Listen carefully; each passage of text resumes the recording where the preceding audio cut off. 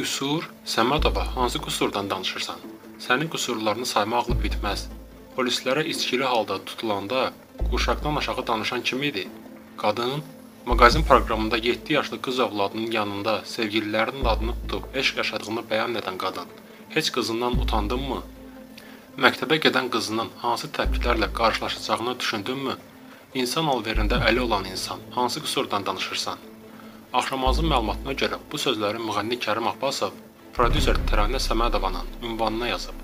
Bir vaxtlar Təranə ilə ailəli olan və qalmaqallı şəkildə boşanan sənətçi onun ünvanına təhqirlər səsləndirib. Təranə Səmədovanın müğənni Rəqsanə İsmailovanın qızı Aysunun bir saylı körpələr evinin baş həkimi Nəhayət Əliyev haqqında dediklərinə münasibət bildirməsi Kərimi özündən çıxarıb. O, Təranənin Aysun anasının qüsurlarını çəkib göstərsin sözlərinə sərt reaksiya verib. Kərim Abbasov Səmədova ilə bağlı şok sözlər işlədib. Atasız uşağı dünyaya gətirib özünə fədakar ana adı qoymaq budurmu alqışa layiq hərəkət? Ananın sevgilin tərəfindən bıçaqlanmağından niyə danışmırsan? Ay qüsursuz insan. Səmədova, hər halda diplomlar yadındadır. Bu qüsurdan niyə danışmırsan? Ay cinayətkar. Səni mən tanıdığım qədər doğma anan tanımır. Heç olmasa sən danışma. Çox adlanıb düşmə. Gedib lazımi orqanlara ananla qaynatdığın zibillərdən danış.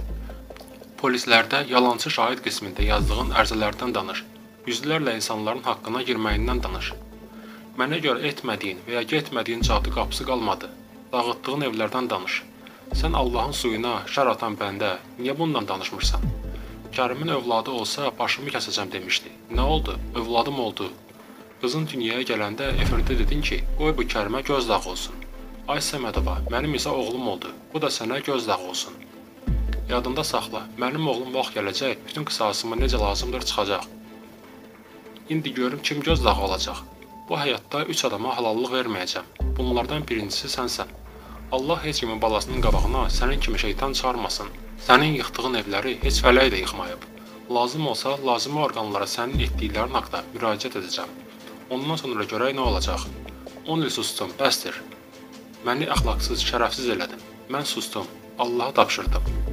İndi baxıram və sənə deyirəm, Allah heç kimin ağlını başından almasın. Necə səninkini alıb? Qeyd edək ki, Aysun baş həkimin uşaqlar evindəki ərzaqları evinə daşıması ilə bağlı video yaymışdı. Nəhayət Əliyeva Aysunu məhkəməyə vermək ilə hədələmişdi. Təranə Səmədova isə açıqlama verərək Aysunu günahlandırıb və baş həkimin tərəfini tutub.